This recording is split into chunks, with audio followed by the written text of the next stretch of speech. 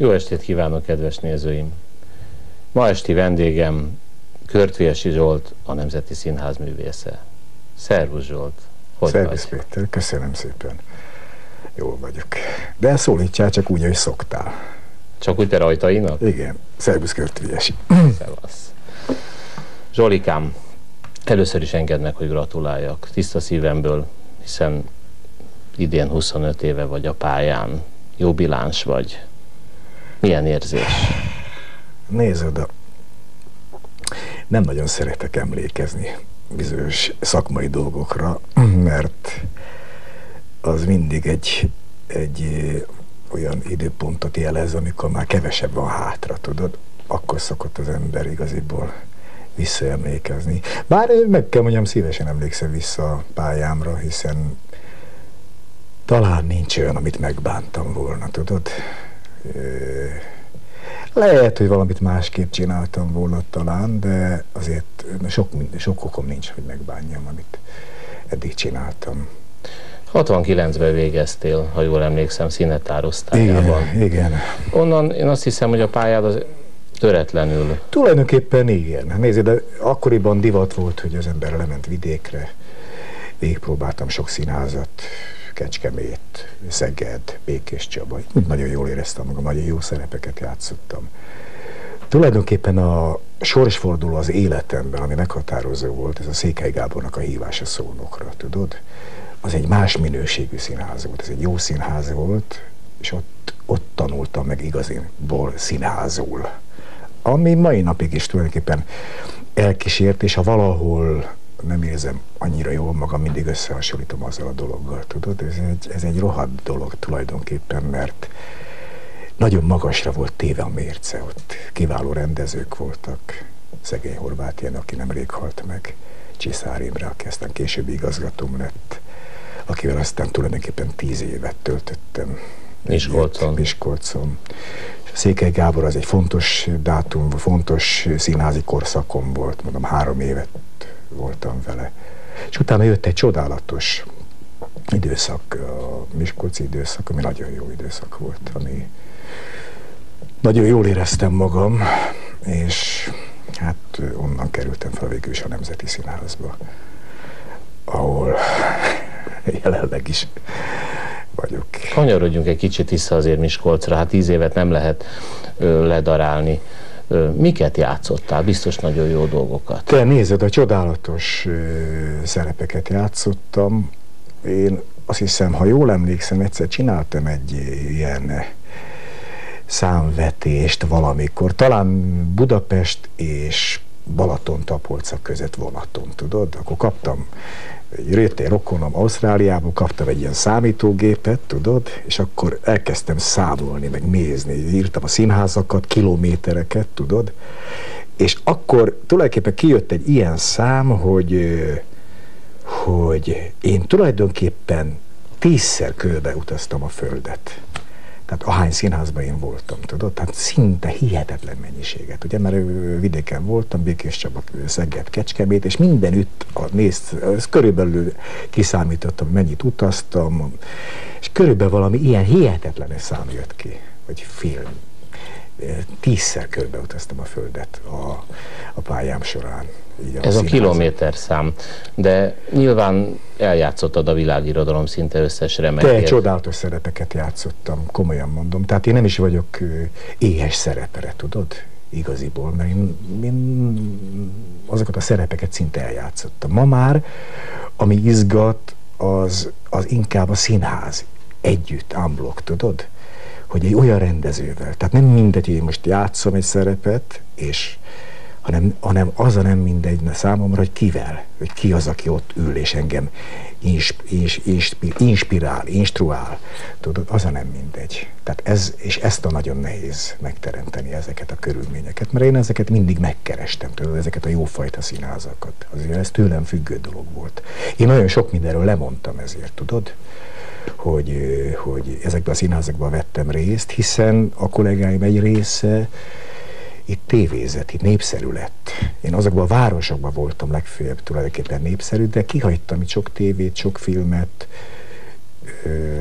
sok olyan helyzetet, ami, ami sok pénzt is, tudod, és Hát képzeld, akkor mi történt volna, ha nem hagytad volna ki. Mert én úgy próbáltam összeszámolni, és hallomásból is tudom, hát tulajdonképpen több mint száz filmbe szerepeltél, ha Körül, igaz, igen. eljátszottál tíz főszerepet, játszottál tíz tévéjáték főszerepet, most képzeld el, ha Pesten vagy, akkor mikor színház játszott, a színházasdi. Igen, akkor nem tudom, akkor 200-nál tartanék. És talán kevesebbet hagytam volna nálad, vagy... vagy ja, hát a régi szép balettcipő az... Régi szép balettcipő, Istenem, az egy... Ez mindig felmerül. De visszatérve a tévére, a filmre, te azon kevés színész közé tartoztál, és tartozol, aki mindig eladható volt, magas, jóképű, markáns, erős, zoral, hát akire igény hát, volt. Mint az előző vendéged, a kapos, az, az alkat vagyok én is. Nem, hát komolyra fordítva a szót, ma Budapesten vagy a Nemzeti Színház tagja, gondolom itt is játszol rendesen. Ö, nem játszom rendesen. Ö, nem is érzem jól magam a Nemzeti Színházból. Ezt úgy kimered mondani?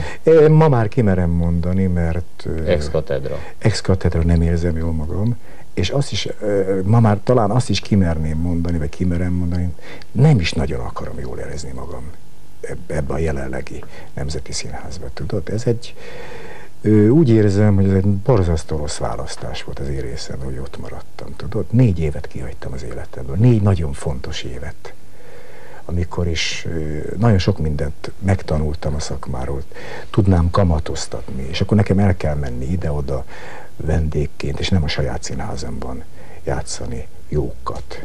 De nem minden áron. Tehát én nem az a fajta színész vagyok, amit nem említettem, hogy nem minden áron akarok játszani, hanem olyan karizmatikus, jó rendezővel, aki, aki, aki aki az emberből kihozza a maximumot, igazán a maximumot. Ezt nagyon jó a teszádból hallani, már csak azért is, mert ismervén téged egy-két napja, nem voltál te mindig ilyen, kimondhatom? Kimondhatom. Amit gondolok? A duhaj, a kocsmatörő, a botrányhős, a, a verekedős. Vonzottad a balhét. Mindig. Én kerestem is, ez az igazság. Mi ez a nagy változás? Mitől jön? Te nézd oda, én valamikor, én most már négy éve mondhatom azt, hogy nem büszkén. Ez van. Négy éve abszinens vagyok, négy éve nem dohányzom. Ö, nézd, ez a dolog az abból fakadt, hogy nagyon sok barátom, nagyon sok barátom ment el az utóbbi időben.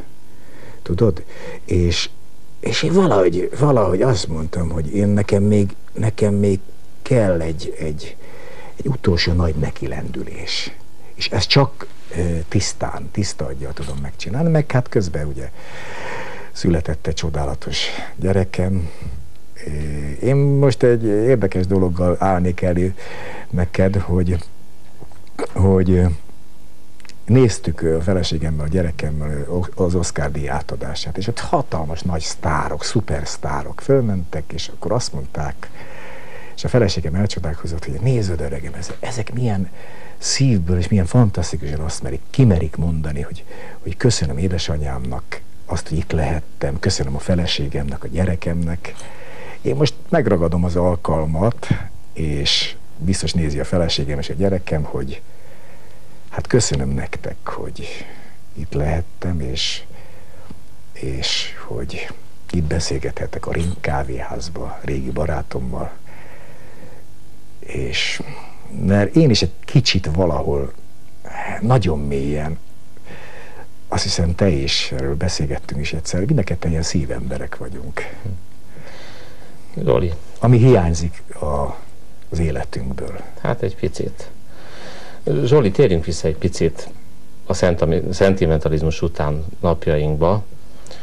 Játszol te a Ribári színpadon is, ez a Goldmark teremben Igen. van a Veselényi utcában. Két darabba is, ha jól tudom, az egyik a Molnár Ferenc játékokastélyban, valamint Gogol egy őrült naplója. Ebből játszunk most be egy részletet. Jó.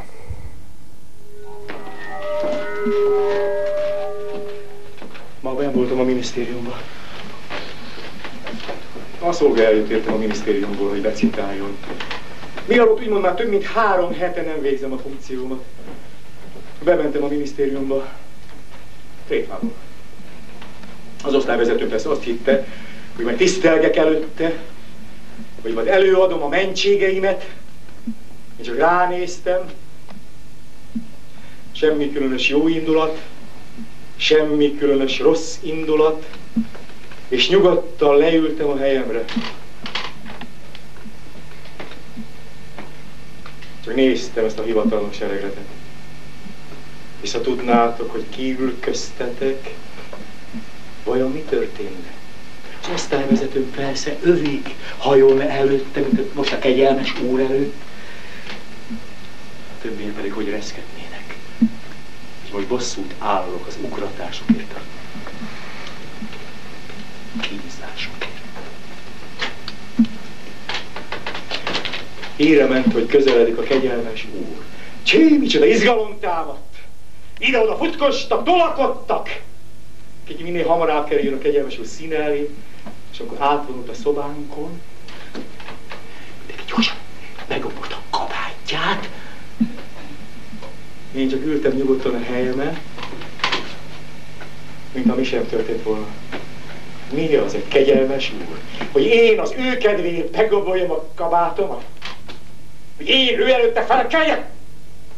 Soha! Nem ilyen kegyelmes úr ez. Nem kegyelmes úr, hanem egy dugó. Közönséges dugó.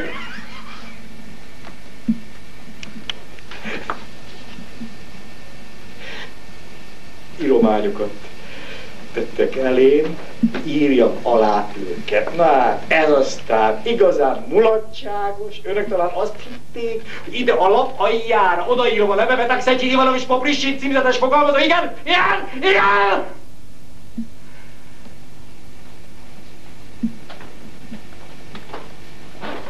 Tisztán, olvashatóan, oda, ahová a kegyelmes úr szokott aláírni, szépen oda kaligrafáltam.